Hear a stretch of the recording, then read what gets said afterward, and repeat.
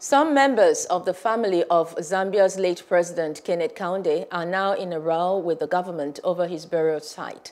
The relatives have gone to court to try to stop his burial at the Embassy Park National Site in the capital, Lusaka. The burial plan for tomorrow is now in doubt, as the family wants the court to allow them to bury Kaunda next to his wife Betty, who died in 2012 to fulfill his wishes. Kaunda was Zambia's first president who was in office from 1964 to 1991. He died on June 17th at the age of 97.